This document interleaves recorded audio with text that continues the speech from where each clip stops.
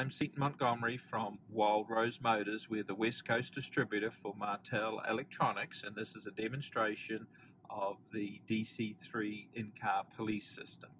Uh, the system is very simple to operate. All you would do is you would turn on the patrol car, the camera system boots itself up, you go to the uh, camera screen and push the user button and then it will bring up on the uh, camera what is in front of you. It has a feature where it has a second camera which is infrared. You just push the second camera and that tells you what's happening in the back of the patrol vehicle and that's infrared so it doesn't matter if it's bad light no light you're seeing exactly what your prisoners are doing now you have a forward facing camera as well which you can um, has a zoom feature feature on the uh, camera. We just seen that uh, postal truck pull away there.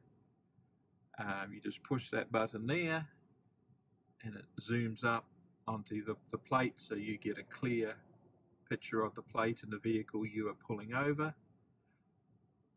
and um, very simple to operate so you would just just push record and if you have a uh, suspect in the rear of the vehicle, push camera 2.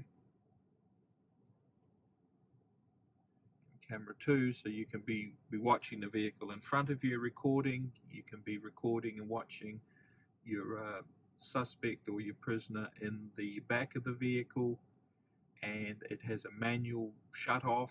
So once you've finished your recording and you've taken your prisoner into the sta station to book, you manually turn it off. So it makes it very, very easy to operate and foolproof so you get all your documentation.